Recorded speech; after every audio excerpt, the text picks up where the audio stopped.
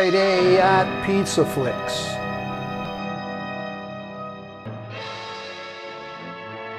Tonight, it's a 1967 television production directed by Alex Segal and introducing Diana Davila as Anne Frank. A teenage girl and her family are forced into hiding during World War II in Nazi occupied Holland. This is her story.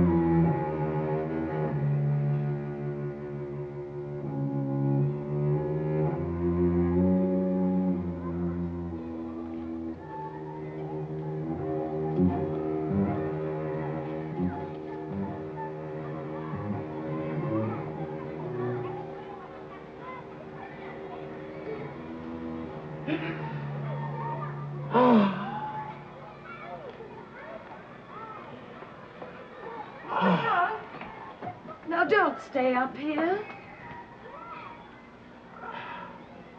What's the use of torturing yourself like this?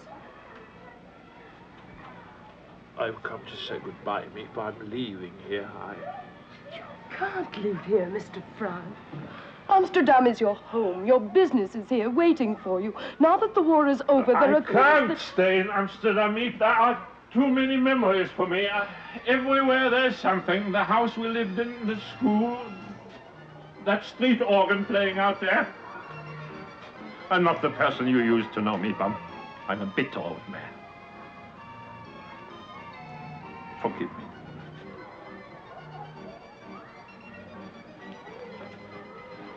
Come. Mr. Frank, some of your papers are here. We found them in a heap of rubbish on the floor after you'd left. Burn them, all of them. Burn this.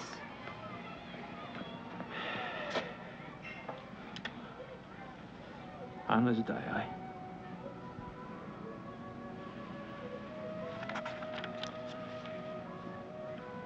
Monday, the 6th of July, 1942. 1942. Is it possible, Miep? It's only three years ago.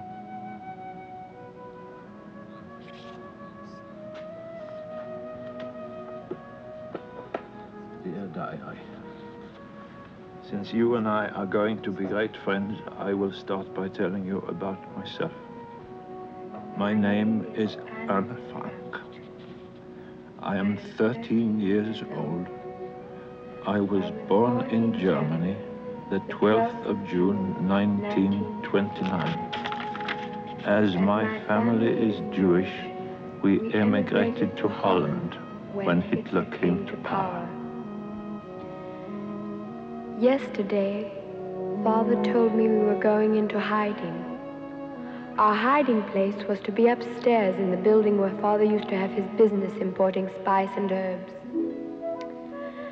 Actually, things had gone well for us in Holland until 1940. Then the war came and the Dutch were defeated. With the arrival of the Germans, things got very bad for us Jews. They forced Father out of his business. We had to wear yellow stars. But somehow we children still managed to have fun. At five o'clock this morning, Mother woke me and told me to hurry and get dressed. It wasn't until we were on our way that I learned where we were going. Three other people were coming in with us. The Van Daans and their son, Peter. Father knew the Van Daans, but we'd never met them.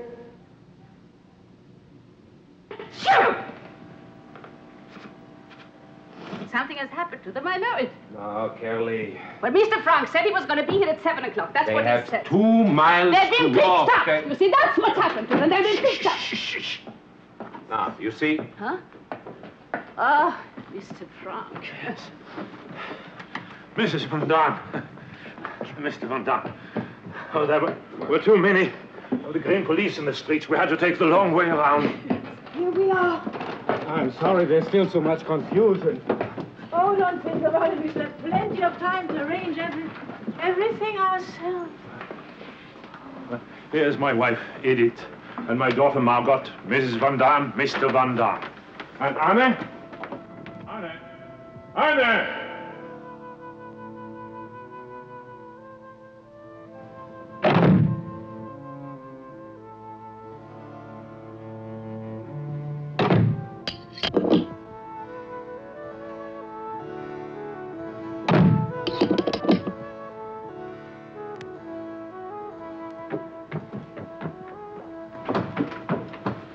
Here's Anne.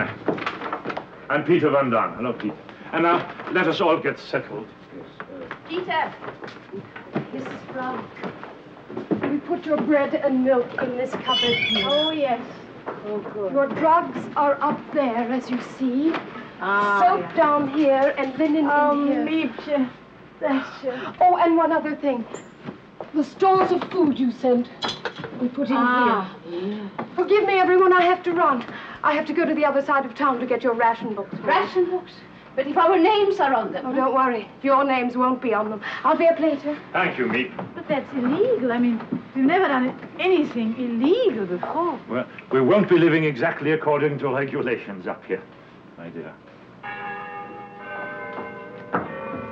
It's the Westertoren! I must be out of here and downstairs in the office before the workmen get here. Now, uh, Miep or I, or both of us, will be up each day to bring you food and news and find out what your needs are. Mr. Kraler, how can we ever thank you?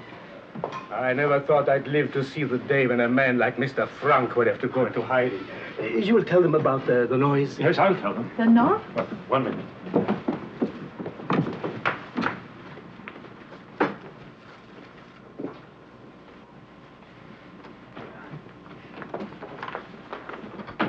What did he mean about the noise? Well, first, let us take off some of these clothes. Oh, yes.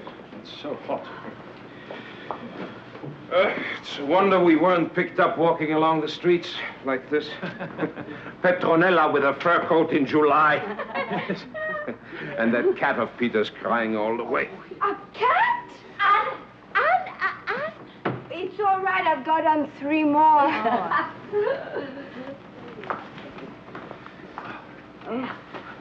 Well, now, about the noise.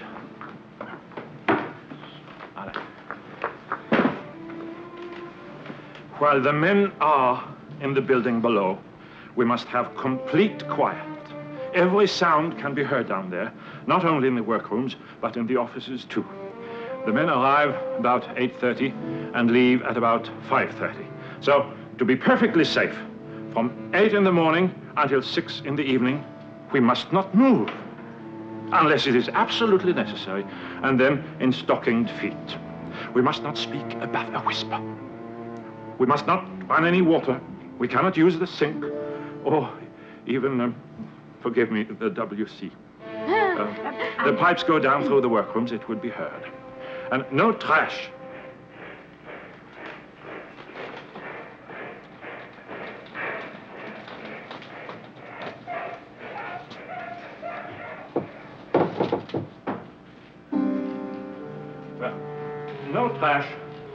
Ever be thrown out which might reveal that someone is living here. Not even a potato paring.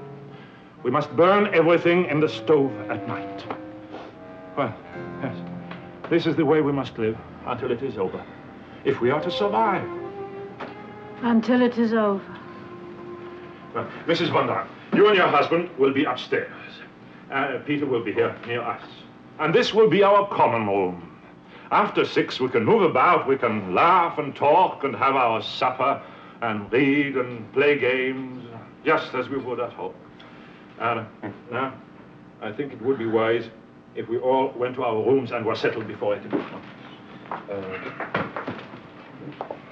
We can never, never thank you, Mr. Frank. I don't know what would have happened to us if it hadn't been for you. You don't know how your husband helped me when I came to this country. Knowing no one, not able to speak the language, I can never repay you for that. Uh, come along, please. You two must have some rest, Edith. You didn't close your eyes last night. Neither did you, Margot. I slept, Father.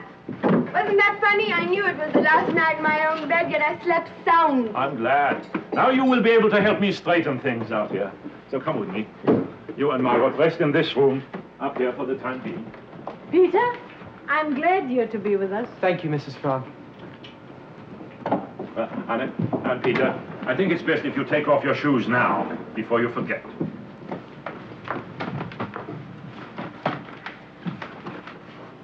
What's your cat's name? Mouschi. Mouschi. Mouschi. Mouschi. I love cats. I have one, a darling little cat, but they made me leave her behind. What's yours, a him or a her? He's a Tom. He doesn't like strangers. Well, then. I guess I'll just have to stop being a stranger, won't I? Is he fixed? Huh? Did you have him fixed? No. Where did you go to school? Jewish secondary. But that's where Margaret and I go. I never saw you around. Well, I used to see you. Sometimes. You did? What are you doing? I'm taking it off. You, you can't do that. They'll arrest you if you go out without your star. So who's going out? Why, of course, you're right. We don't need them anymore.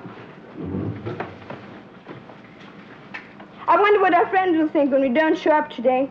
I had a date with Jopie this afternoon to go and play ping pong at her house. Do you know Jopie de Waal? No. Jopie's my best friend. I wonder what she'll think when she telephones and there's no answer. Probably she'll go over to the house. I wonder what she'll think. We left everything as if we'd suddenly been called away. Breakfast dishes in the sink and beds not made. Look, it's still there. What are you going to do with yours? Burn it.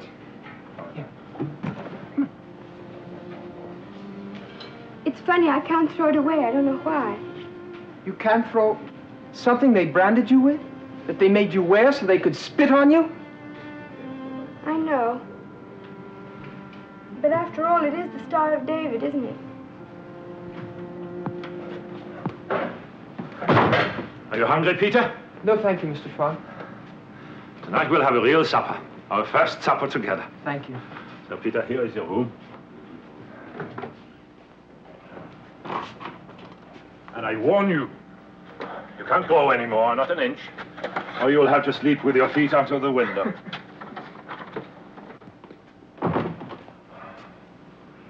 That's a nice boy, Peter. He's awfully shy, isn't he? Well, you like him. I know. I certainly hope so, since he's the only boy I'm likely to see for months and months. Anna, there's a box down there. Will you open it? You know the way I'm going to think of it here? No? I'm going to think of it as a boarding house. Yes. A very peculiar summer boarding house, like the one that we... Father! Father! My movie stars!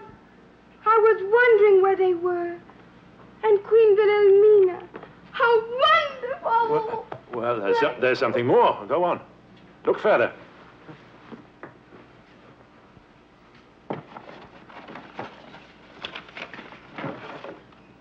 A diary. Oh, Father.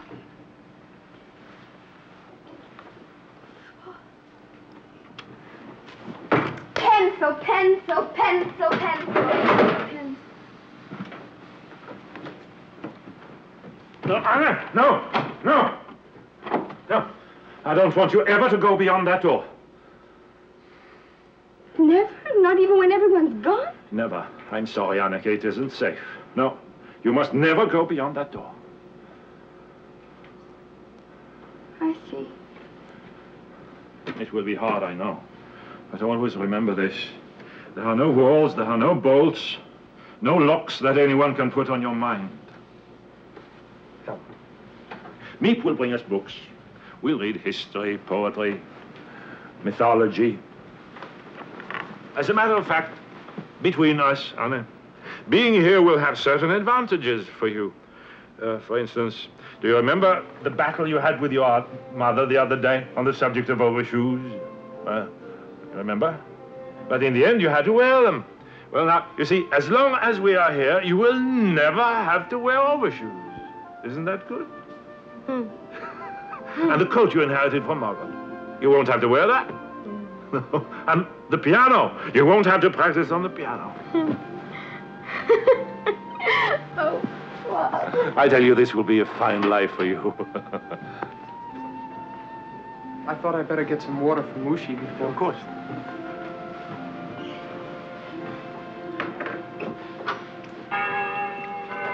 Peter.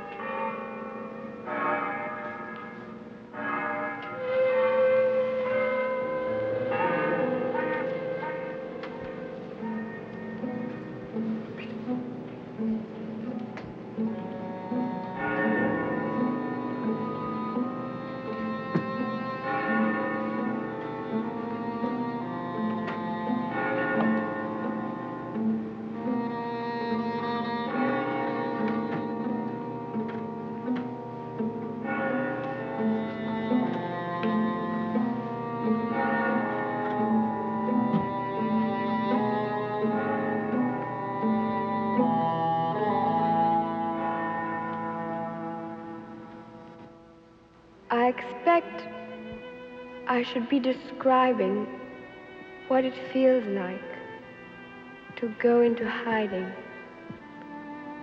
But I really don't know myself. I only know it's funny never to be able to go outdoors, never to breathe fresh air, never to run and shout and jump.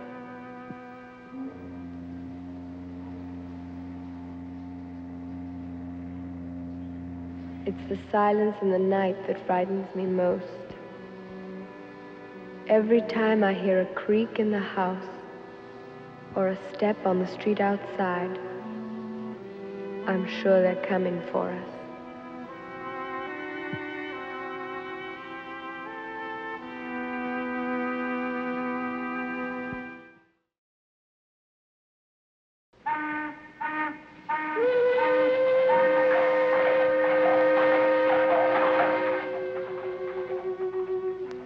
September 17, 1942. The days aren't so bad. At least we know that Miep and Mr. Kraler are down there below us in the office. Our protectors, we call them.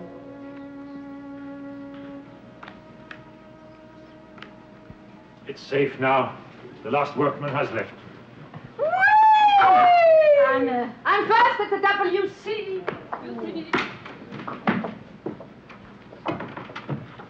Six o'clock, school's over. Oh, wonderful. Have you seen my shoes? Your shoes? You've taken them, haven't you? I don't know what you're talking about. Oh, you're going to be sorry. Am I? Ah! no, no, Peter! Don't! Stop it! Ah, Peter!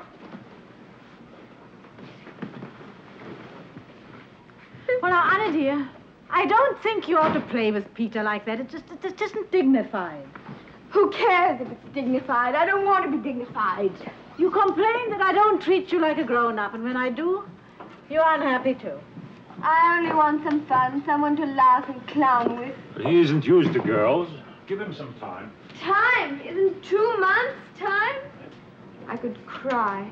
Come on, Margaret, dance with me. Come on, I please. can't. I have to up with supper. Not You now. know we're going to forget how to dance when we get out of here. We won't remember anything.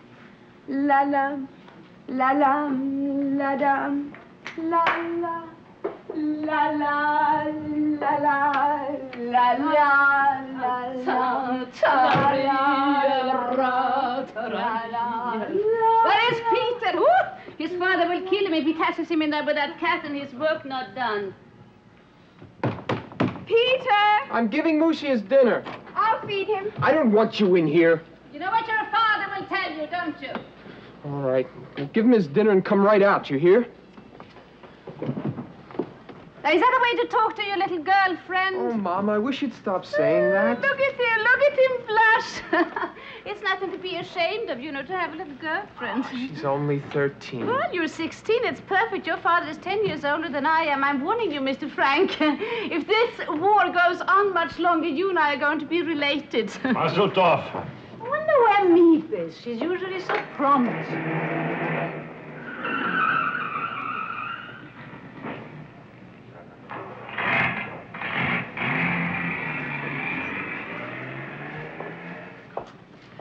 Good evening, everybody.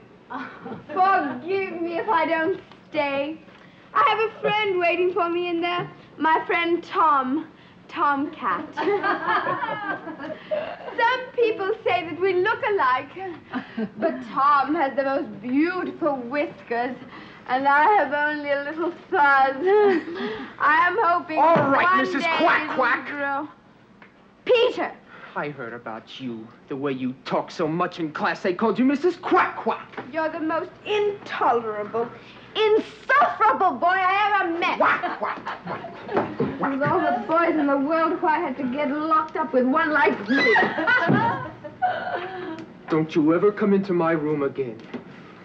Oh, give it to him! Give it to him! Anna, dear, you're hot. You're not running a temperature, are you? Oh, no, no. Let me see your tongue. Mother, this is perfectly absurd. Let me see your tongue. No. Otto. You hear your mother, Anna. No, come on, come on. Open up. Open up. It looks all right to me, but I think a couple of aspirins wouldn't Oh, do any friends, they don't give a child any pills. I waited for 15 minutes for her to get out of the WC this morning. I was washing my hair. Quack, quack, I think there's nothing the matter with our Anna that if I don't help Bike or a visit with your Pidaval wouldn't cure. Isn't that so, Anna? Hmm? What's for dinner? Beans. No, not again.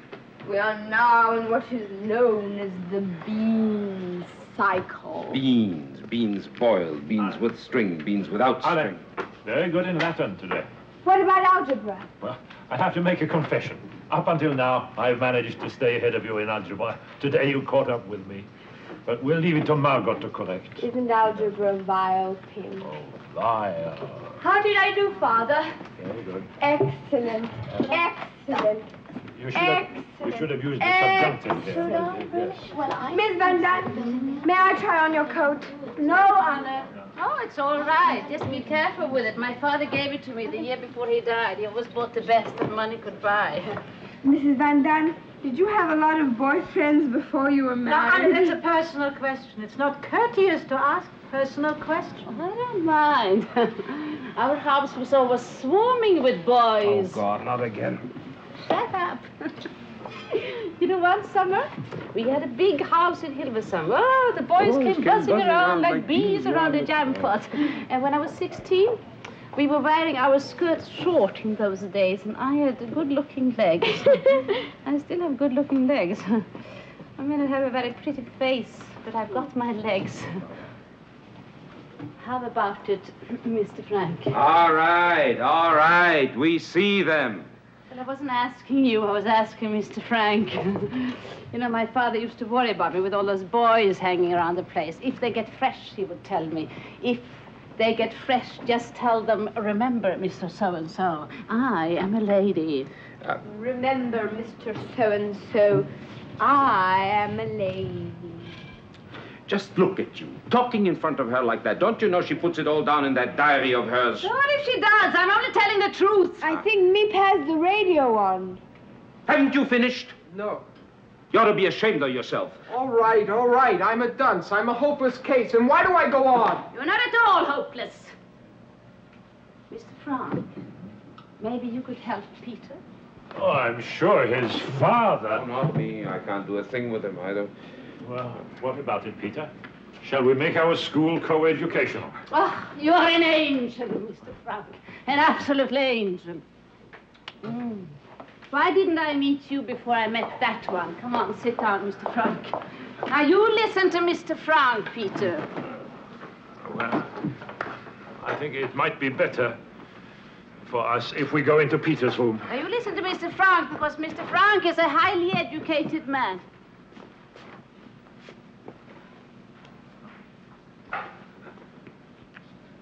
You know, I hear, I think I hear someone talking I- down there. Isn't it bad enough in here without you sprawling all over the place? Oh, if you didn't smoke so much, you wouldn't be so bad-tempered. Am I smoking? Do you see me smoking? Miep only brought me one package. It's a filthy habit anyway. Why It's don't all time to you shut up? What are you staring at? I've never seen grown-ups quarrel before. I thought only children quarrel. This is not a quarrel. It, it's, a, it's a discussion. I've never seen children so rude before. I'm rude. I'm Finish your milk. Come. I must remember to tell Miep to bring me some more wool when I see Oh, her. yes, I need some hairpins and some soap. I'm going to make the list right away. Poor Miep. It's a wonder she has a life of her own where we make her run around all the time. Did you know she was engaged? His name is Dirk, and Miep's afraid the Nazis are going to ship him off to Germany to work in one of their war Don't you, don't you, don't you ever doing stop no. talking, talk, talk, talk. Every evening it's the same. I've never known such a child. Talk, talk, talk. The trouble with you is you've been spoiled. What you need is a good old-fashioned spanking. Remember, Mr. So-and-so. Remember, I'm a lady. Let me give you a piece of advice, young lady. Men don't like that sort of thing in a girl. Do you know that?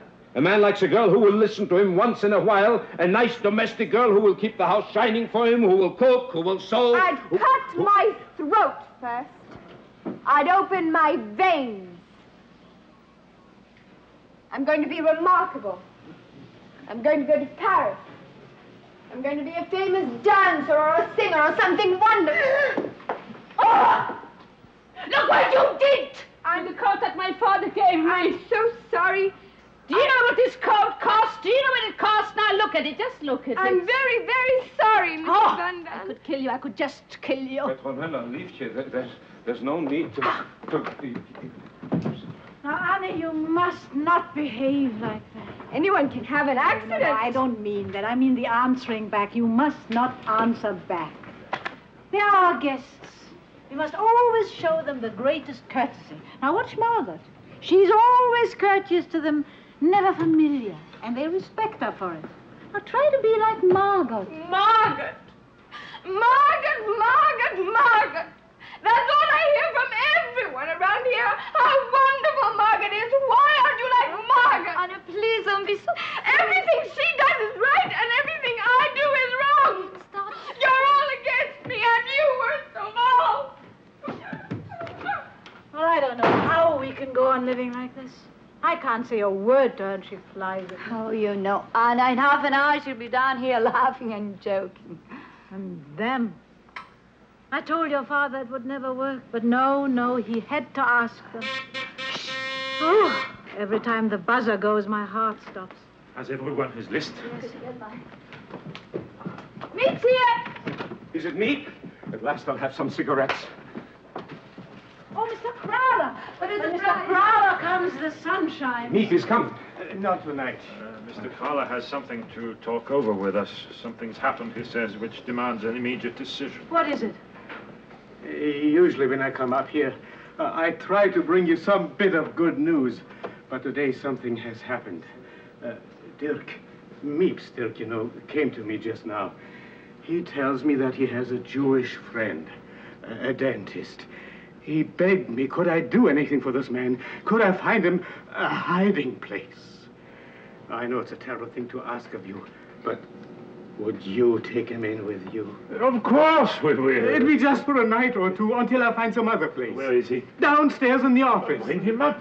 His name is Düssel. Jan Düssel. Düssel? I think I know him. Oh, forgive me. I spoke without consulting you. But I knew you would feel as I do. This is your place. You are free to do exactly as you please. I... The only thing I feel is so little food as it is. We can stretch the food a little. It's just for a few days. You want to make a bet? Oh, I think it's fine having him. But uh, Otto, where are you going to put him? I'll come in here with you and Mother. Margaret can take Peter's room, and Peter can go into our room with Mr. Dussel. That's right, we can do that. No, Margaret, uh, you must not sleep in that But room. why? Neither you nor Anna.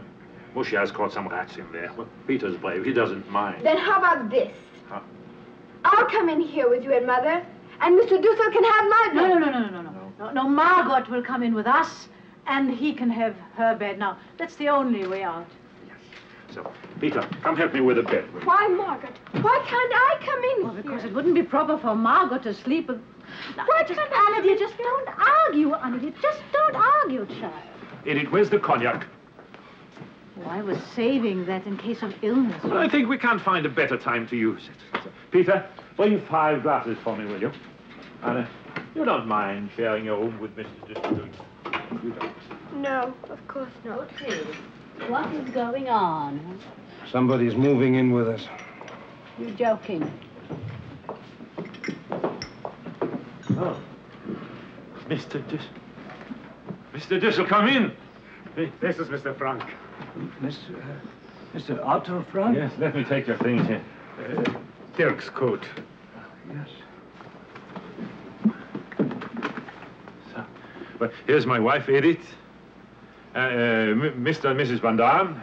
uh, And their son, Peter. And my daughters, there's Margot and Anne. No. Mr. Düssel, I leave you in good hands. How shall I ever thank you? Oh, please, please.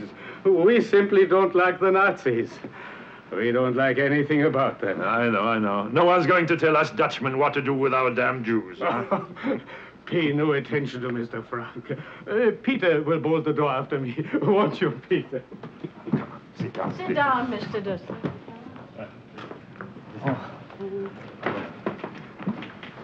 I simply can't believe my eyes. Mr. Otto Frank here. A woman told me she. Uh, she said she went to your house. She found a piece of paper in the waste basket uh, with a, an address scribbled on it. Uh, an address in Zurich. She said she thought you must have escaped to Zurich. It worked, Pim. The address you left, they think we're in Switzerland. I'm glad. I'm- And now, let us have a little drink to welcome Mr. Dussel.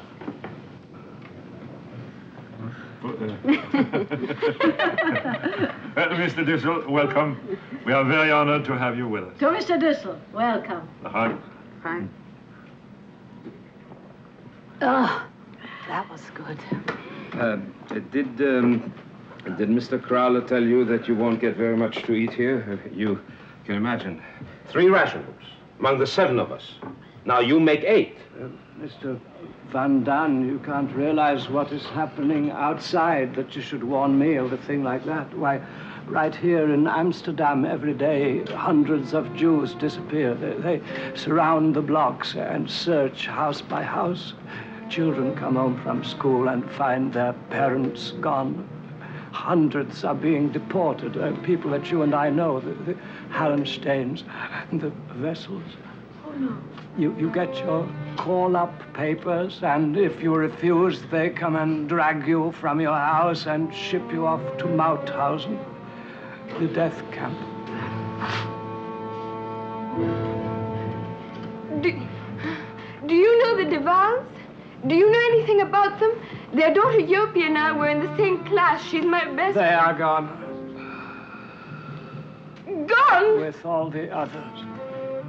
Oh, no. Not Jopie. I think we should put this off until later. I'm sure Mr. Dussel would like to get settled before supper. I hope you won't be too uncomfortable. We've had to make very strict rules here, a schedule of hours. We'll tell you after supper. Anna, Anna, would you like to take Mr. Dussel to his room? Will you come with me, Mr. Dussel.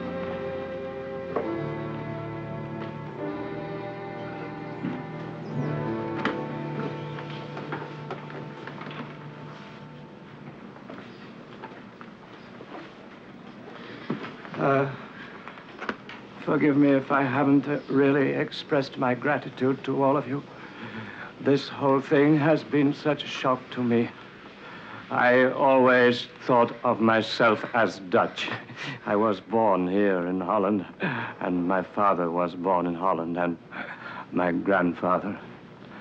And now, after all this time. oh. Excuse me.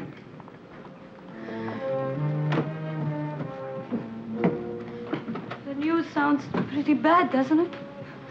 It's so different from what Mr. Kraler tells us. Mr. Kraler says things are improving. I like it better the way Kraler tells it.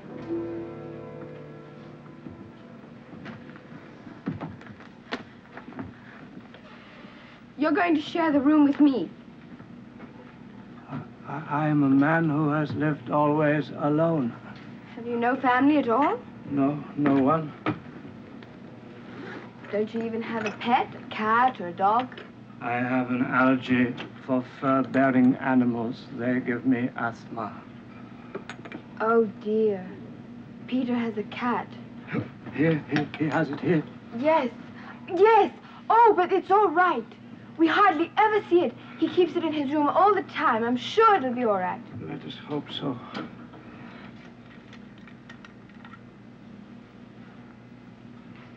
Um, this this is Margaret's bed where you're going to sleep, and I sleep over there.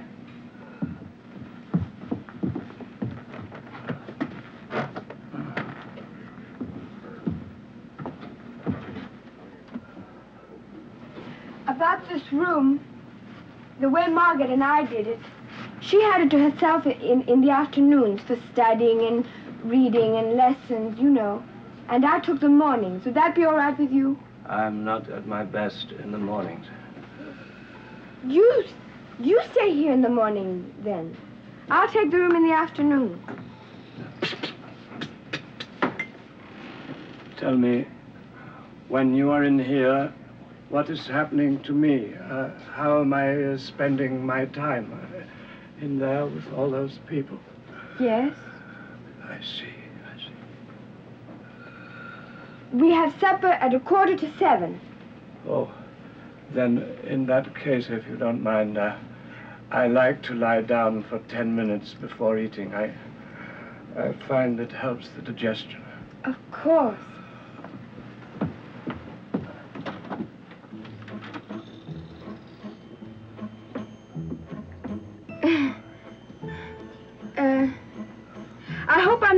Too much of a bother to you. I seem to be able to get everyone's back up. I get on very well with children. My patients all bring me their children because they know I get on well with them. So uh, don't you worry about that.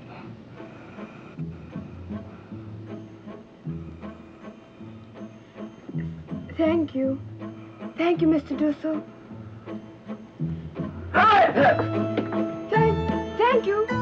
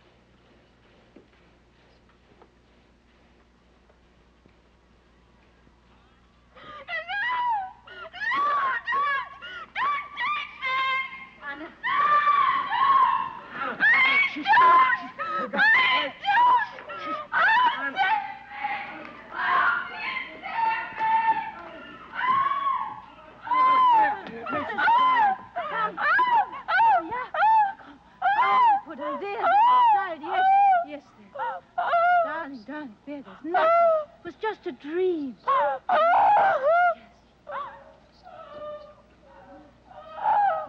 Something will have to be done about that child. Mrs. Frank screaming like that, she's endangering all our lives. You're here, safe, you see. Nothing's happened. No Mr. Dussel, please go back to bed. She'll be herself again in a moment or two, won't you, Arthur? Thank you, but I'm going to go and sit in the WC, the one place where there's peace.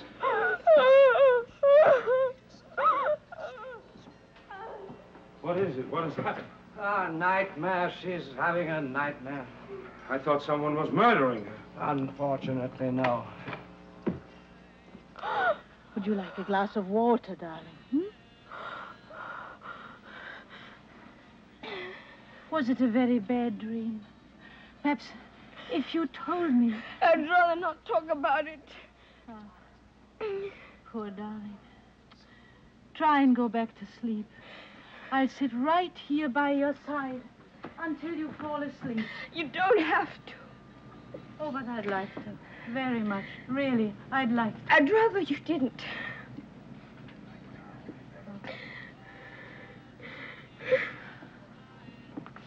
Good night, then, darling.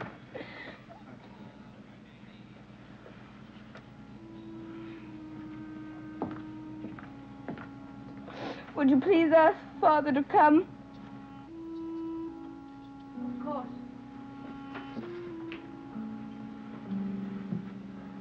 She wants you.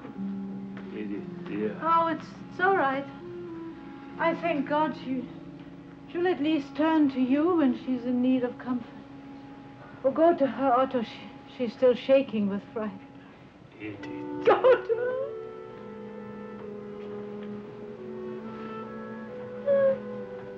She wants nothing of me.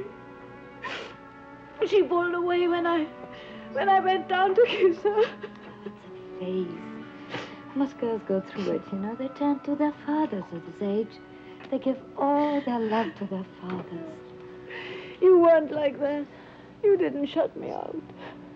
Oh, Pim! Pim! Pim! I dreamed it was the Green Police. And they broke down the door and grabbed me and started to drag me out the way they did you. I want you to take this pill here. Come on. So, come on.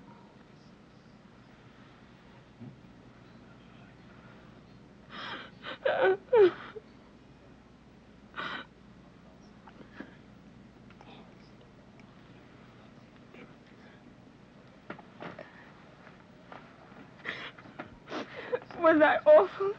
Did I yell terribly loud? Do you think someone outside could have heard oh, me? And um. Lie quietly down. Try to sleep.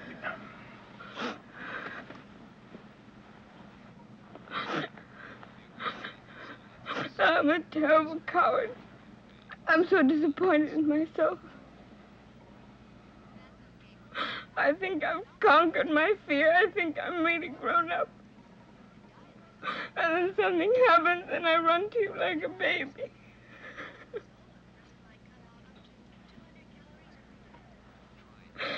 I love you, Father. I don't love anyone but you. I've been thinking about it for a long time. You're the only one I love. It's fine to hear you tell me that you love me. But I'd be much happier if you said that you loved your mother as well. She needs your help so much, Anna. Your love. We have nothing in common. She doesn't understand me. Whenever I try to explain my views on life to her, she asks me if I'm constipated. You hurt her very much just now. She's crying. She's out there crying. Can't help it.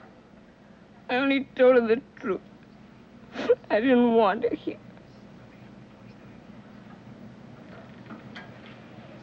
oh, Bill, I was horrible, wasn't I? And the worst of it is, I can stand up and look at myself doing it. And know it's cruel, and yet I can't stop doing it. What's the matter with me? Tell me, and don't say it's just a phase. Help me. There's so little that we parents can do to help our children. We can only try to set a good example, to point the way. The rest you must do yourself. Oh, I'm trying. I'm trying. Really, I am. Every night before I go to bed, I think back over all the things I did that day that were wrong. Like putting the wet mop in Mr. Dussel's bed. And this thing now with Mother. I say to myself, I'm never going to do that again, never. Of course, I may do something worse, but at least I'll never do that again. Mm.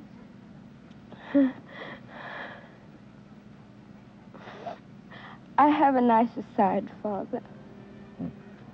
A sweeter, nicer side. But I'm scared to show it. I'm afraid people are going to laugh at me if I'm serious. So the mean Anne comes to the outside, and the good Anne stays on the inside.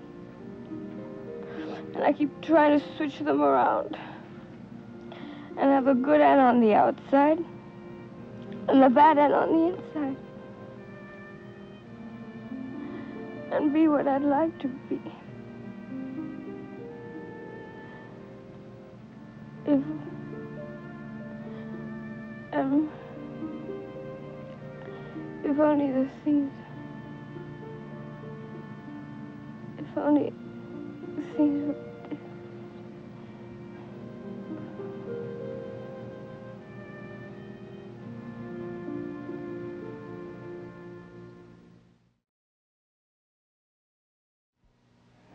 were Baruch atah Adoshem Elokeinu melech haolam asher kitshonu b'mitzvosav v'tzivonu techadlik ner shel hachanukah. Amen. Amen.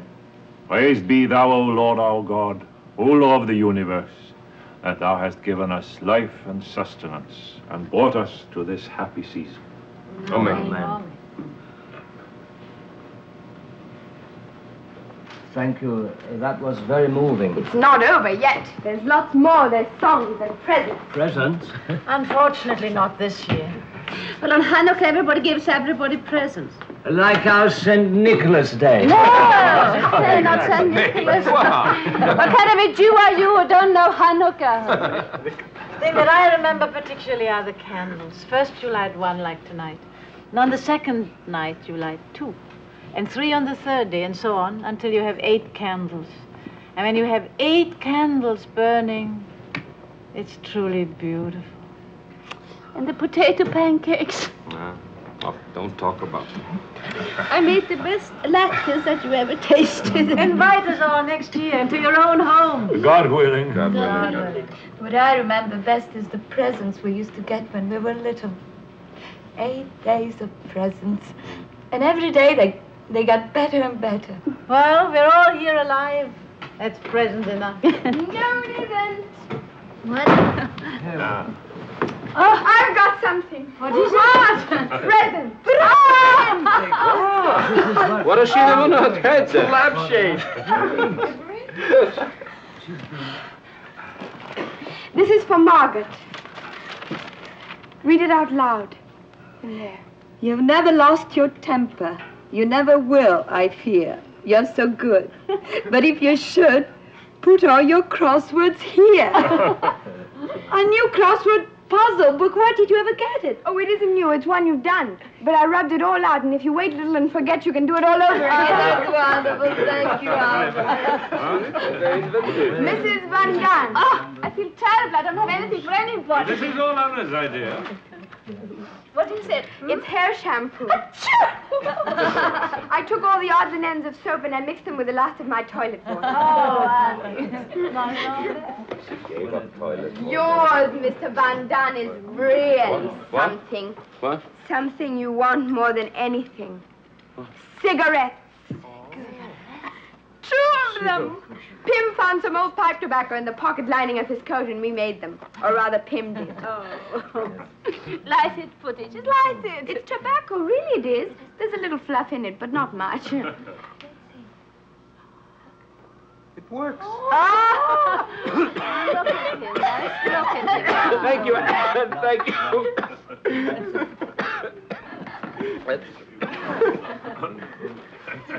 you. for Mother. Hanukkah greeting. Here's an IOU that I promised to pay. Ten hours of doing whatever you say.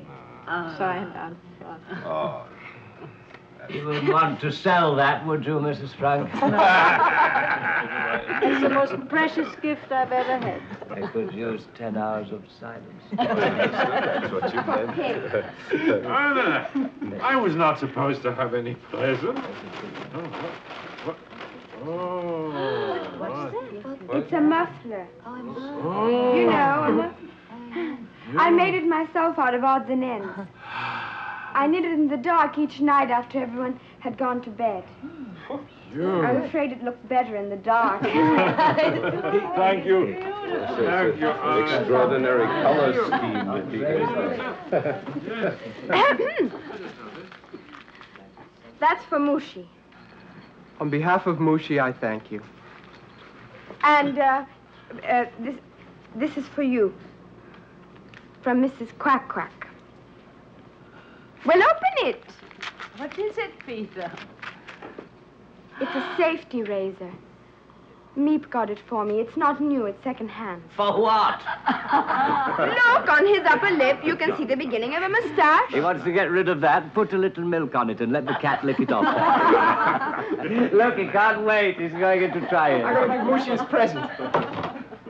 And last but never least, my roommate, Mr. Dussel.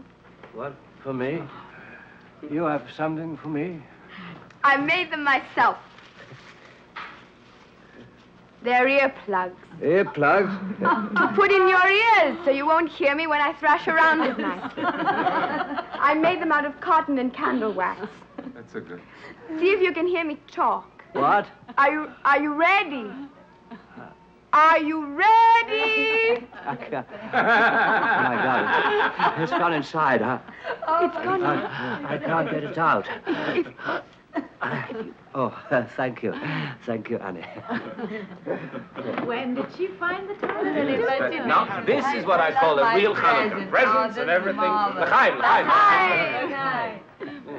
Ah, that's good. And now, Father, let's have the song. Have you heard the Hanukkah song, Mr. Dussel? The song is the whole thing. No, no, Anna. Oh. Hanukkah, Hanukkah, No, no, no, no, no. Celebrate. It's a, song of jubilation and rejoicing. One's apt to get too enthusiastic. Please, please, let's have the song. I, pro- I promise not to shout. All right, all right, but quiet, quietly. Oh, Hanukkah, Hanukkah, the sweet celebration. Around the feast we gather in God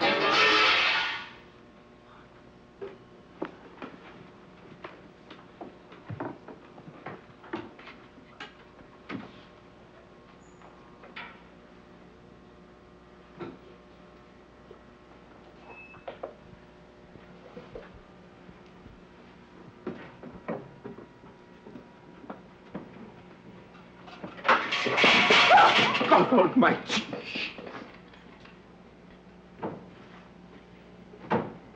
Can you hear anything? I think they've gone. Gone. The green police, they found us. They, if they found us, they would not have left. They'd be up here by now. I know it's the green police. They've sent to go for help. Maybe, maybe it's maybe it's the Gestapo looking for papers. Or a thief looking for money. Quick, do something before they come back. There isn't anything we can do. Just wait. Uh, uh, um.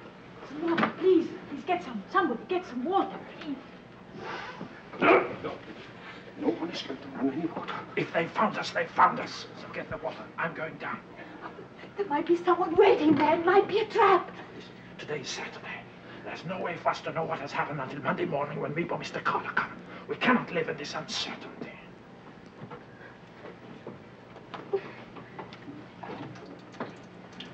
Put in the money. Go and get the money. I understand that you can buy the green police so much ahead. Go, hurry up, Twink. Keep. You want us to be dragged out of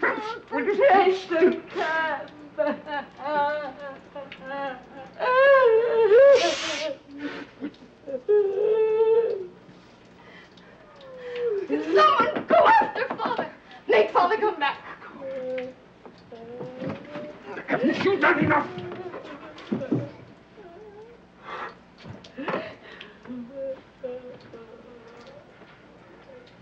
Please, please, Mr. Van Daan, get I lift up mine eyes unto the mountains, from whence cometh my help. My help comes from the Lord who made heaven and earth. He will not suffer thy foot to be moved. He that made thee will not slumber.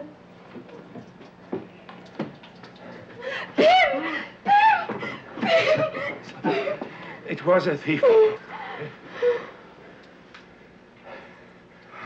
That noise must have scared him away. So come, come. Thank God. Thank God. I think we'd better have some more light. Edith.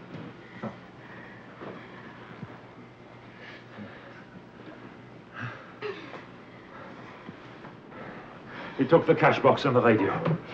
He ran away in such a hurry. He didn't stop to shut the street door. It was swinging wide open. Thanks to this clumsy fool, somebody now knows we're up here. Oh, please, Mr. Dussel, be still. Somebody knows we're up here hiding. Yes, someone knows that we're here. And who is that someone? That someone is a thief. Do you think that a thief is going to go to the green police and say, I was, uh, I was robbing a place the other day, and I heard a noise above my head. Do you think a thief is going to do that? Yes! I think he will. He's right, you know. Uh, Father, let's get out of here. We can't stay here now. Let's go. Oh, go where? Yes. Go where? Have we lost all faith? All courage? A moment ago we thought they'd come for us. We were sure it was the end. It wasn't the end. We are safe. We are alive. Amen. Amen. Amen. We thank thee, O Lord, that in thy infinite mercy thou hast again seen fit to spare us. Amen. Amen. Amen. And now I think we should have the song. Let us have the song. Oh, Hanukkah, Hanukkah, the sweet celebration, around the feast we gather in complete jubilation. Happiest of seasons now is here, many are the reasons for good cheer together. We'll weather whatever tomorrow may bring. So hear us rejoicing and merrily voicing the Hanukkah song that we sing. Hi, hear us rejoicing and merrily voicing the Hanukkah song that we sing. Hi, Hanukkah, Hanukkah, the sweet celebration. Around the feast we gather in complete jubilation. Happiest of seasons now is here. Many are the reasons for Saturday, the 1st of January, 1944. We've been here now for one year, five months, and 25 days. It seems that our life is at a standstill. We're all a little thinner. Peter is still depressed by Mouschi's mysterious disappearance. I keep wishing Peter was a girl instead of a boy. Then I would have someone to talk to. The Van Daan's discussions are as violent as ever. Mother still does not understand me, but then I don't understand her either. There is one great change, however, a change in myself. Speak. Wake up, everyone. Miep's here. I read somewhere that girls of my age don't feel quite certain of themselves, that they become quiet within and begin to think of the miracle that is taking place in their bodies. I think that what is happening to me is so wonderful. What a lovely surprise. We came to bring you New Year's greetings. Oh, but you shouldn't have. You should have kept at least one day to yourself. Don't say that. It's so wonderful to see them. Oh, I can smell the wind and the cold on your clothes. Here, I got something for you. There. Beautiful. How are you, Margaret? Are you feeling any better? I'm we all filled right, her full of every kind of pills that she won't cough and make a noise. Hello, Mr. Crown. With my hope for peace in the new year. Look what Miep's bought for us. A cake? Oh, I'll get plates. I'll get plates. Oh, oh Miep, you, you shouldn't have. You must have used up weeks of your sugar ration. I get the key, the tea. It's been ages since I even saw a cake. I remember you brought one last New Year's. I remember it well because it was written on it peace in 1943. Peace in 1944. Well, it has to come sometime, you know. Hello, Mr. Duke. Here, here is, here, here is the knife, Liefje. Now, how many of us are there? None for me, thank No, you. thanks. I couldn't. Uh, very well, that leaves uh, uh, one, seven of us. Eight. No, I, I left Margaret out. I take it for granted Margaret won't have any. Why won't she? Oh, I don't think it would harm her. Uh, all right. Oh, I just didn't want her to uh, uh, start coughing again, that's all. And uh, please, Uh, what? Mrs. Frank What? should What? cut the cake. Why? Mrs. Frank divides things better. Don't I give everybody exactly the same, don't I? Yes, everybody gets exactly the same, except Mr. Van Daan gets just a little teeny bit more. That is a lie! That she always cuts the same, always! She always cuts... Hey, you see what a little sugar cake does to us? It goes right to our heads. Uh, very well. Here you, here you are, Mrs. Mrs. Frank. Looks delicious, Miep. Delicious. Now then.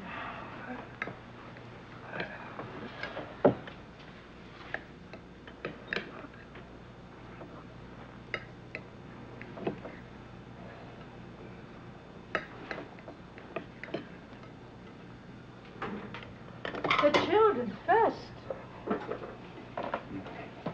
The children. Hmm. Hmm. Dirk is lucky to get a girl who can bake like this. The children. Peter. Hmm. Mrs. Van Daan. I have to run. Dirk's taking me to a party tonight. Mr. A Wilson. party? Oh, how heavenly!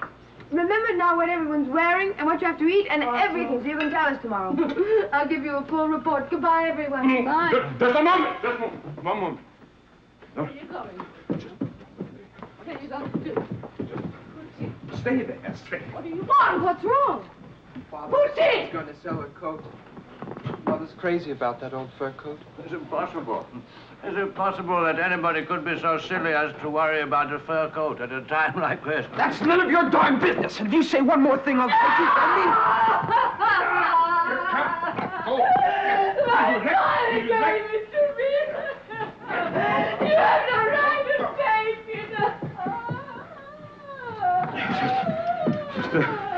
Little discussion about the advisability of selling this fur coat. As I, I've reminded Mrs. Van Daan time and again, it's very selfish of her to want to keep it when people outside are in such desperate need of clothing. So if you would please sell it for us, it should fetch a good price. Uh, oh, by the way, get some cigarettes for me. Doesn't matter what kind, just get as many as you can. It's very difficult to get them, Mr. Van Daan, but I'll try. Bye. Would you please bolt bye. the door? Bye. Goodbye.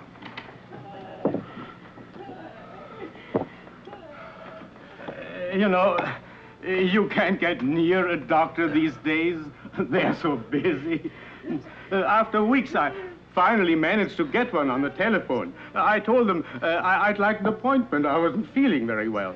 You know what he answers over the telephone? Stick out your tongue. Uh, I uh, have some contracts here. I wonder if you'd look over them with me. Of course. If he could go downstairs. Certainly. Will you forgive us? Uh, I would keep him about a minute. Something has happened, hasn't it, Mr. Kraler? No. Something's gone wrong, I know it. If uh, there's something that concerns us here, I think we all should hear it. But the children. What they would imagine would be worse than any reality, Mr. Kraler. It's a man in the storeroom.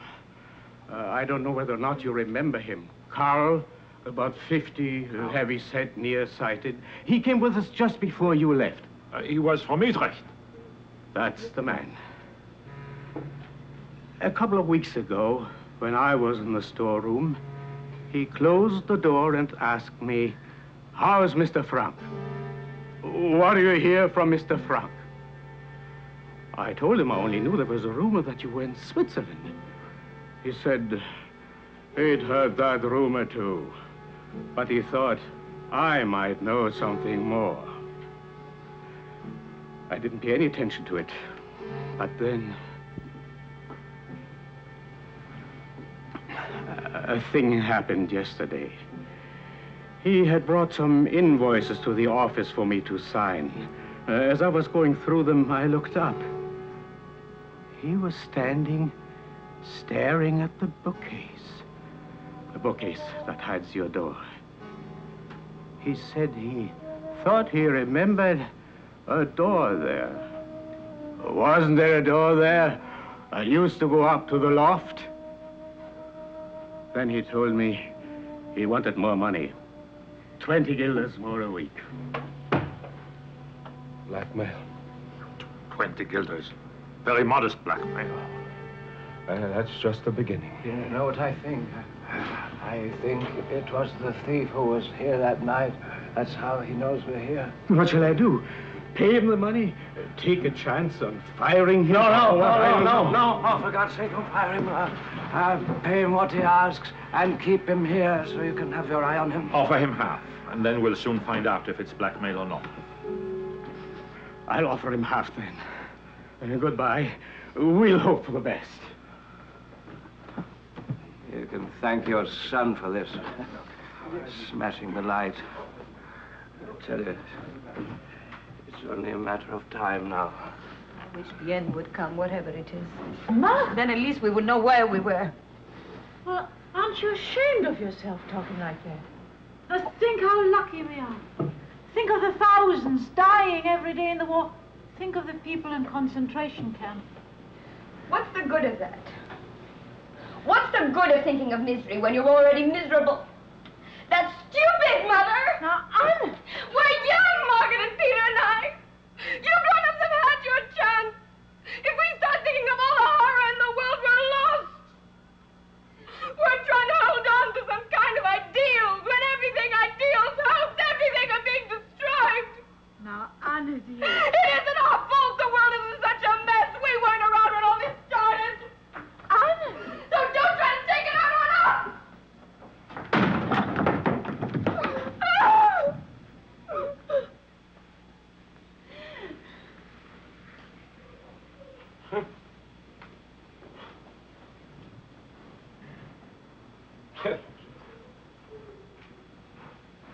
Talks as if we started the war.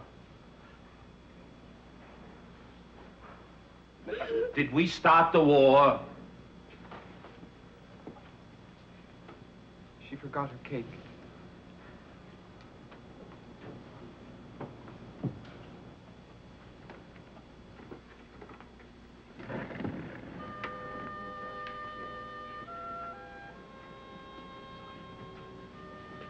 Forgot this.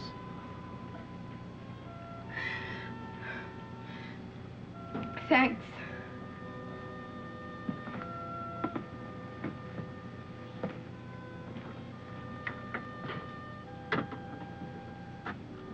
I thought you were fine just now. You, you know just how to talk to them. You know just how to say it. I'm no good. I, I never can think, especially when I'm mad. When he said that about mother, all I could think is I just wanted to hit him. I just wanted to give him such. But an old man like that, it wouldn't be so good. You're making a big mistake about me. I do it all wrong. I go too far. I say too much. I hurt people's feelings. I think you're just fine. What, what I want to say is that, well, if it wasn't for you around here, I don't know. What I mean is, Do you mean it, Peter? Do you really mean it? well, I said it, didn't I? Thank you, Peter.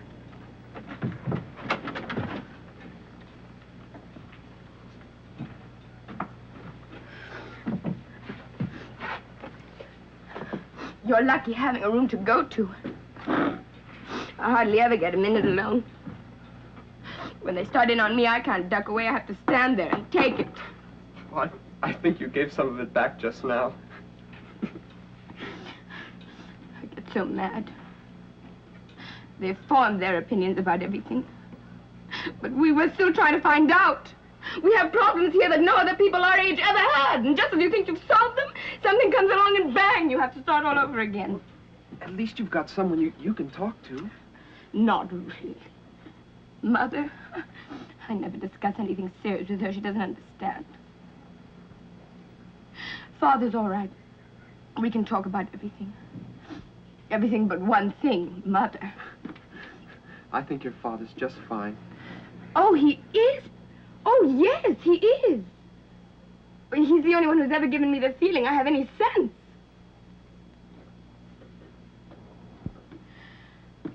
But anyway, nothing can take the place of school and friends your own age. Or near your age. Can it? I suppose you miss your friends and all. Oh, it isn't, it isn't just...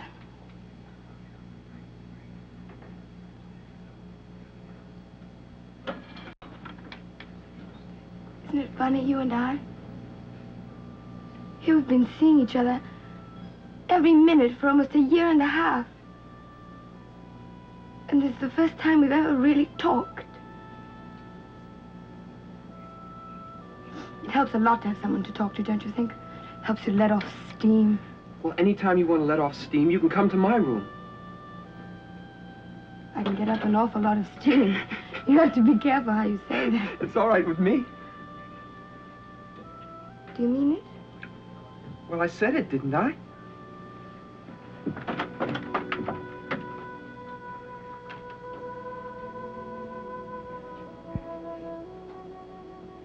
Wednesday, the 8th of February, 1944. We've had bad news. The people from whom Miep got our ration books have been arrested, so we've had to cut down on our food. Our stomachs are so empty that they rumble and make strange noises, all in different keys. Monday, the 6th of March, 1944. Mr. Kraler is in the hospital. It seems he has ulcers. Pim says we are his ulcers.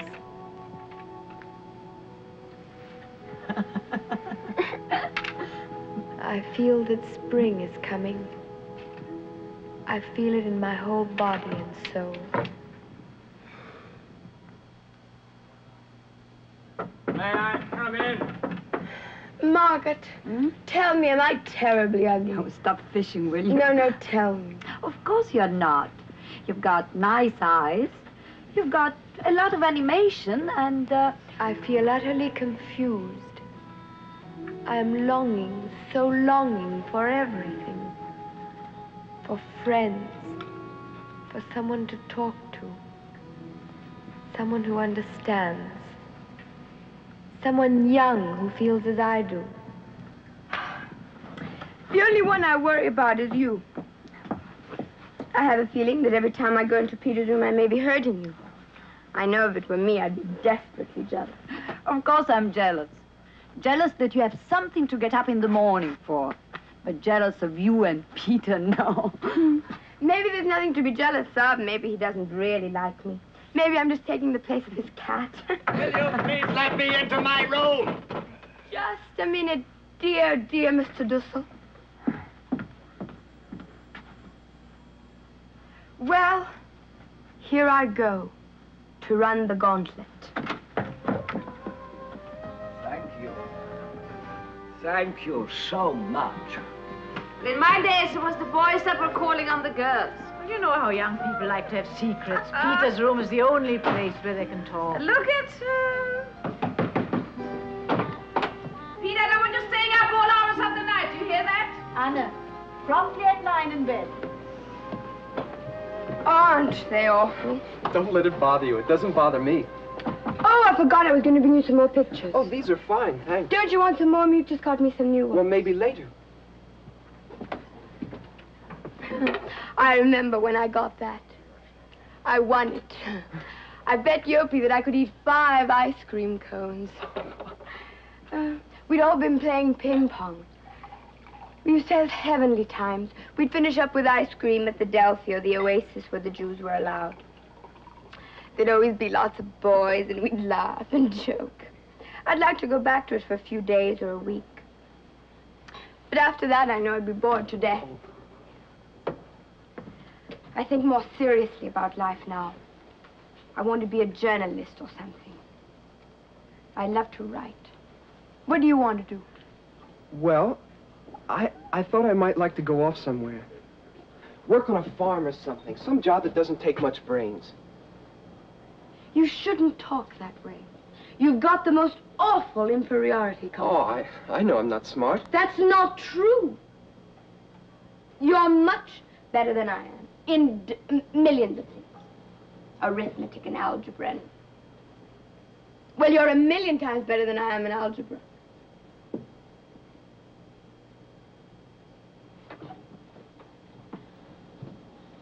You liked Margaret, don't you?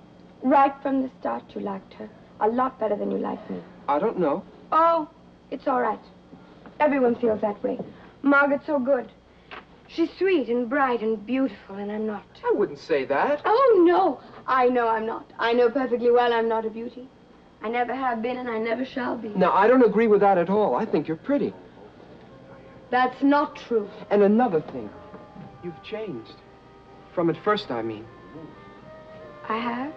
Well, I used to think you were awful noisy. How have I changed? Well, you're, uh, you're quieter. Yeah. I'm glad that you don't just hate me. Oh, I never said that. I bet when you get out of here, you're never going to think of me again. When you get back with all your friends, you're going to say, now whatever did I see in that Mrs. Quack Quack? I don't have any friends. Oh, Peter, of course you have. Everyone has friends. No, not me. I don't want any. I can get along all right without them. Does that mean you can get along all right without me? I think of myself as your friend. Oh, no. If they're all like you, it'd be different.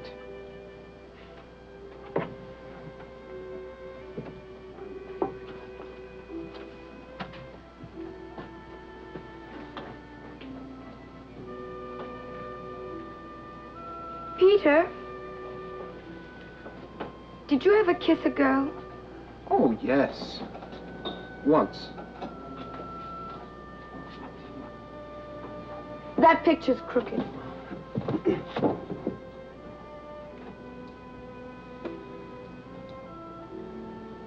Was she pretty?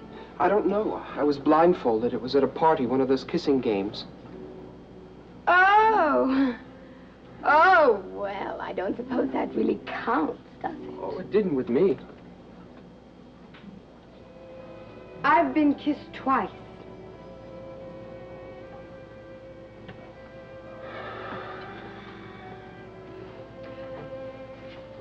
Once, a man I'd never seen before kissed me on the cheek when he picked me off the ice and I was crying. And the second was Mr. Koophuis, a friend of my father's who kissed my hand. I wouldn't say those really counted, would you? Uh, no, I wouldn't say so. I know almost for certain that Margaret would never kiss anyone unless she was engaged to. And I'm sure that Mother never touched a man before Pim. But I don't know. Things are so different now. What do you think? Do you think a girl shouldn't kiss anyone except if she's engaged to them or something? It's so hard to try to think what to do. When here we are, with the whole world falling around our ears. And you think, well, you don't know what's going to happen tomorrow. And what do you think? Well, I think it depends on the girl. Because with some girls, whatever they do is wrong. But then with others, it wouldn't necessarily be wrong. Uh, I, I've always thought... Nine o'clock. I have to go. That's right. Good night.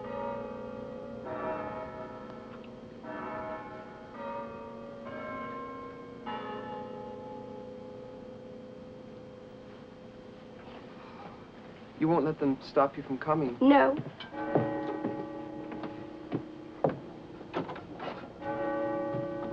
Sometime I might bring my diary. There's so many things in it I want to talk over with you. There's a lot about you. What kind of things? Oh, I wouldn't want you to see some of it. I thought you were a nothing, just the way you thought about me. Did you change your mind about me the way I changed mine about you? Well,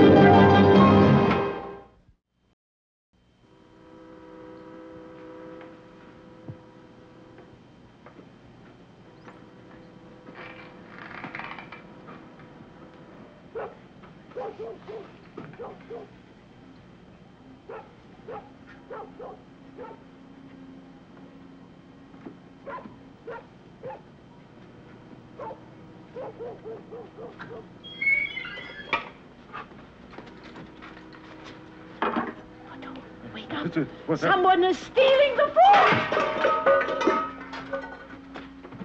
Uh, you, you, uh, give me No, that. no, no. Give it. No, You, for God's sake, filthy let me thief, go. stealing the food. You greedy, good for nothing. So, it was you. And all the time we thought it was the rats. What is it? Putti, what is it? The bread. He was stealing the bread. Mr. Van Daan, how could you? I am hungry. We're all of us hungry. I see the children getting thinner and thinner every day. Your own son, Peter, I hear him moan in his sleep. He's He's used so to more than the rest of us. He needs more. He's a big man. And you? You're worse than he is. Don't think I haven't seen you always saving the choicest bits for him. I've watched you day after day and I've held my tongue, but not any longer. Not after this. Now I want him to go. I want him to get out of here. Hildegard, I want him to take his things and get out. you are speaking in anger. You cannot mean what you are saying. I mean exactly that.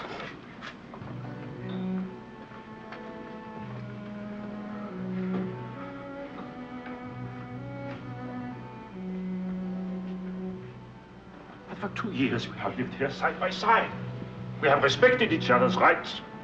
We have managed to live in peace. Are we now going to throw it all away? I know this will never happen again, Mr. Van will it?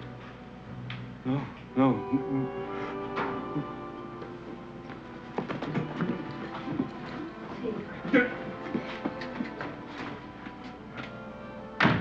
He steals once, he'll steal again. Now, we will all go to our rooms and afterwards we'll sit down and talk this out quietly. No, no, no. No more talk. I want them to leave. I want them to get out of here.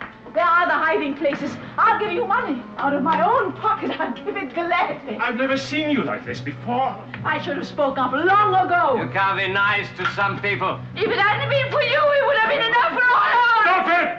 Stop it! We don't need the Nazis to destroy us. We are destroying ourselves. Here, give this to me.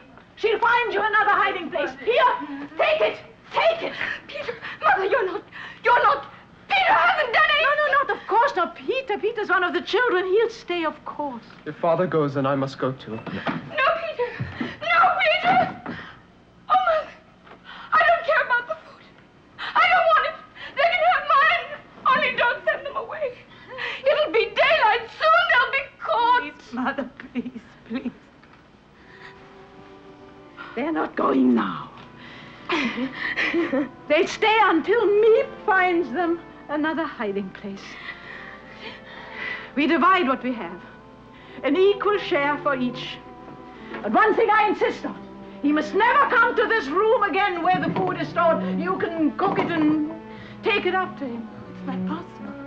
We haven't thought this far that we are going to fight over a handful of rotten potatoes. It's me. At this hour, well, there must be trouble. Mrs. Van uh, I beg you, don't let her see a thing like this, please. Stop it. You see? You see, taking away! Stop it! Stop it!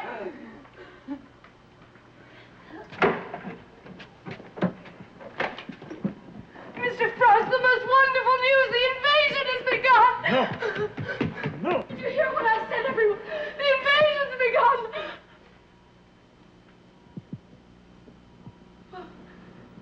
The invasion. It started early this morning. BBC said they landed on the coast of Normandy. The British? British, Americans, French, Dutch, Poles, Norwegians, all of them. More than 4,000 ships. At last! Thank God it's come. It...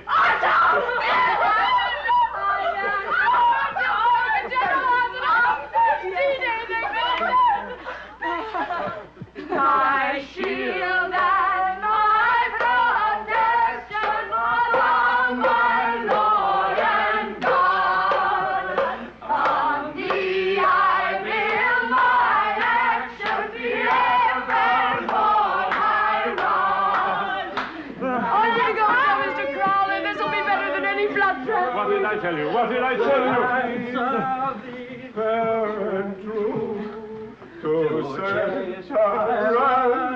around See?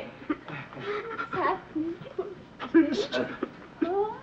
I'm so ashamed. Oh, it doesn't matter now. To steal bread from children. Look at me, the way I've treated Mother. Oh, I've Oh, been no. so mean and horrid. Arlene and- Oh, yes, Mother, I was. No. I was. I was awful. I was awful. Don't like me. Oh. What is this, baby? Stop it now. Let's be happy. Here. It's all Here. right. Now, now, fine. Celebrate. My shield and my protection. What? What's the matter? When I think of the terrible things I've said. No, no, no, no. You, you were right. You were right. Could say such things to you. To our friends. To our guests. Stop it now. You're spoiling the whole invasion. My shield and my protection allow my Lord and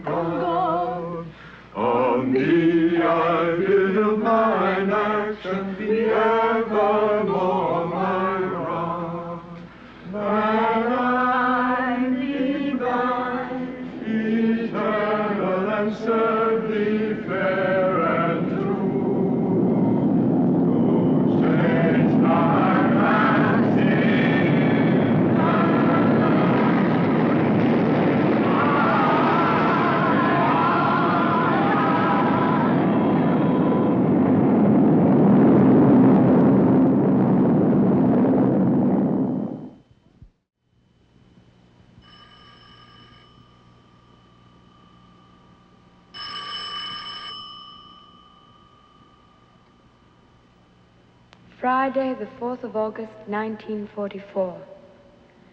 The invasion seems temporarily to be bogged down.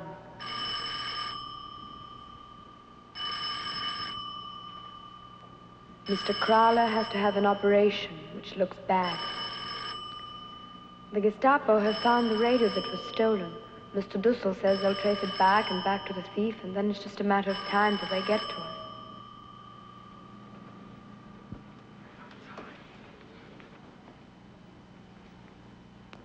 Another birthday has gone by, so now I am 15.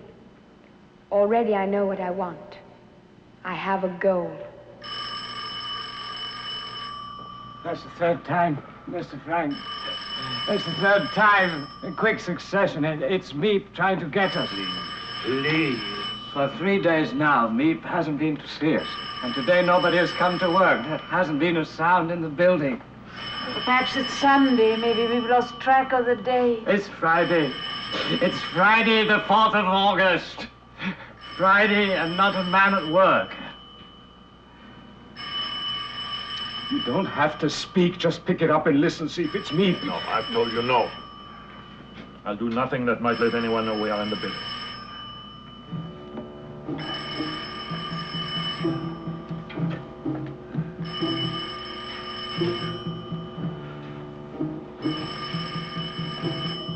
I'm going down.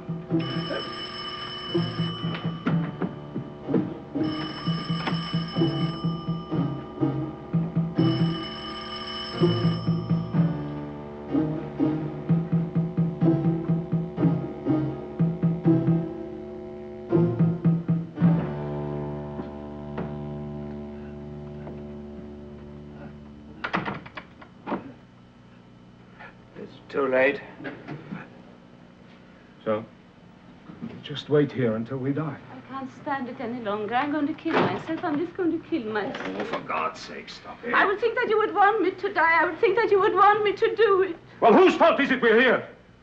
We could have been safe somewhere in, in America or in Switzerland. But no, no, you wouldn't leave when I wanted to. You couldn't leave your things. You, you could, couldn't leave your precious furniture. Don't touch me! Oh!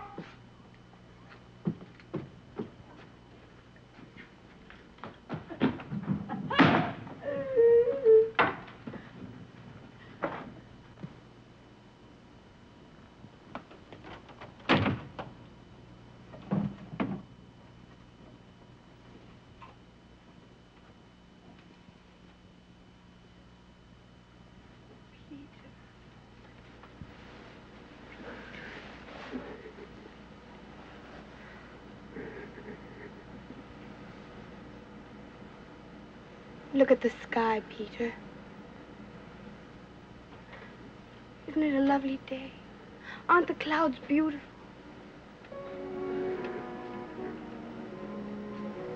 You know what I do when it seems I couldn't stand being cooped up in here one more minute? I think myself out. I think myself on a walk in the park where I used to go with where the daffodils and the crocus and the violets grow down the slopes.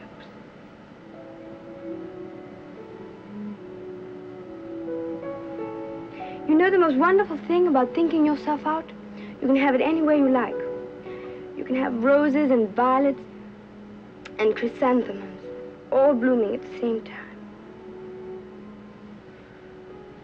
It's funny, I used to take it all for granted. I think if something doesn't happen pretty soon, if we don't get out of here, I can't stand much more of this. I wish you had a religion, Peter. No thanks, not me. Oh, I don't mean you have to be orthodox. Just to believe in something.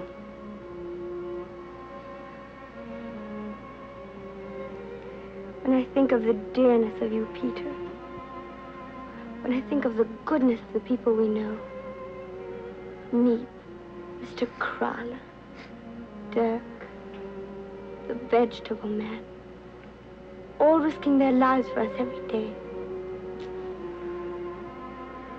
When I think of these good things, I'm not afraid anymore. When I think I get mad, look at us. Hiding out here for two years. Not able to move, caught here like just waiting for them to come and get us. And all for what? We're not the only people that have had to suffer. There have always been people that have had to. Sometimes one race and sometimes another, and yet the world still goes on. That doesn't make me feel any better. I know it's terrible trying to have faith when people are doing such horrible things. But you know what I sometimes think? I think the world may be going through a phase. The way I was with Mother. It'll pass. Maybe not for hundreds of years, but someday. I still believe, in spite of everything, that people are really good at heart. I want to see it now, not a thousand years from now. But, Peter, if you'd only look at it as part of a great pattern, that we're just a little minute in life.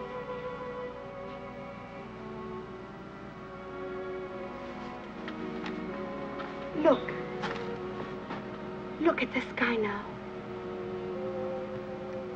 Isn't it lovely?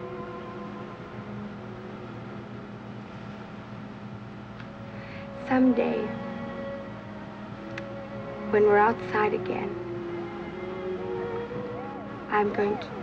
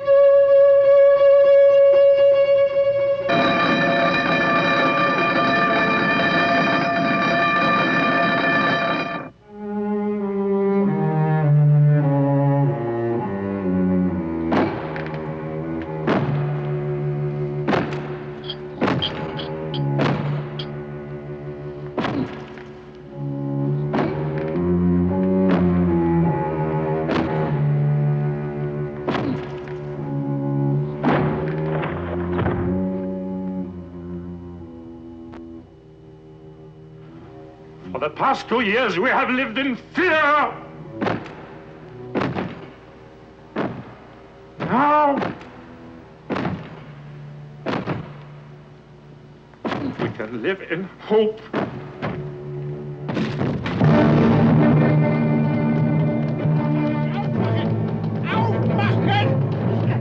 Die Juden!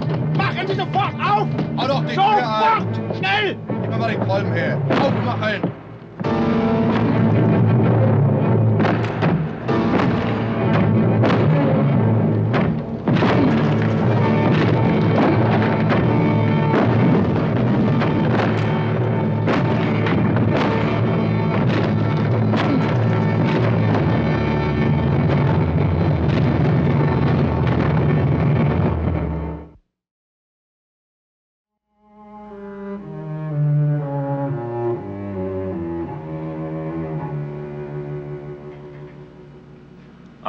Often been downcast myself, but never in despair.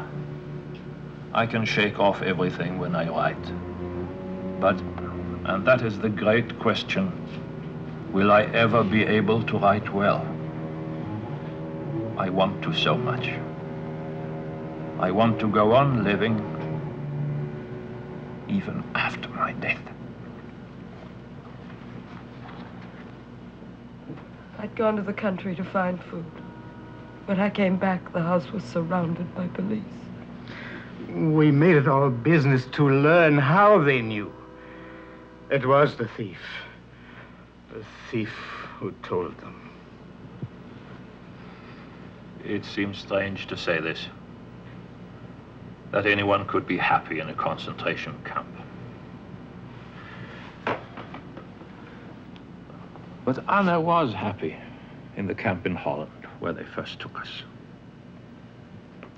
After two years of being shut up in these rooms, she could be out. Out in the sunshine and the fresh air that she loved. The news of the war were good. The British and the Americans were sweeping through France. Uh, we felt sure that they'd get to us in time. Then, in September, we were told that we were to be shipped to Poland. The men to one camp, and the women to another. I was sent to Auschwitz.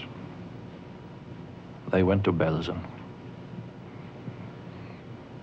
In January, we were freed. The few of us who were left. The war wasn't over yet, so it took us a long time to get home. We were sent here and there behind the lines where we'd be safe. And every time our train stopped at a siding or a crossing, we'd all get out and go from group to group. Where were you? Were you at Belsen? At Buchenwald? At Mauthausen? Is it possible that you knew my wife? Did you ever see my husband? My son? My daughter? That's how I have found out about my wife's death. And Margot. And the Van Daans, Peter, Dussel. But Anna,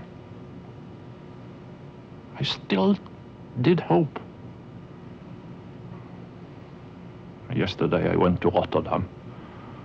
I'd heard about a woman there. She'd been in Belgium with Anna.